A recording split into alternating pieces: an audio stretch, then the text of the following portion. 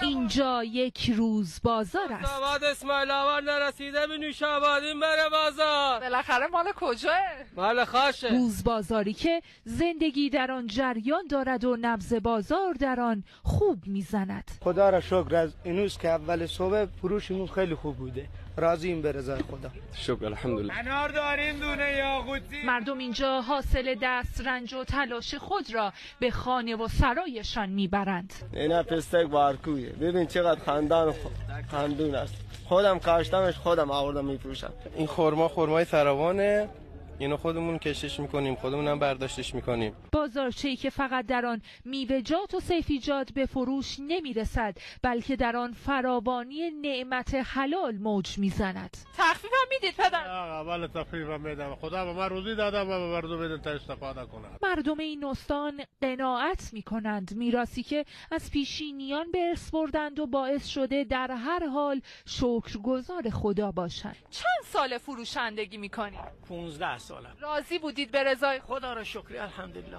روز شب شده شب صبح شده.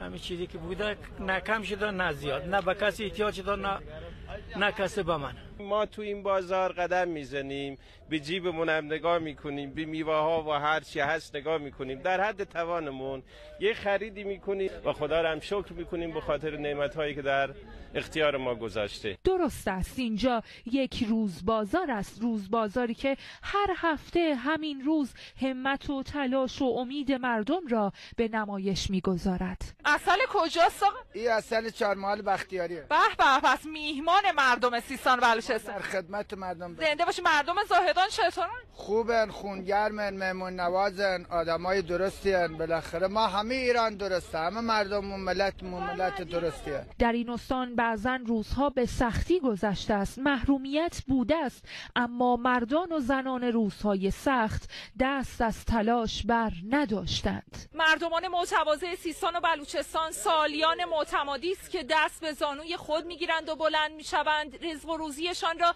از خدا طلب می‌کنند و راضیاند به رضای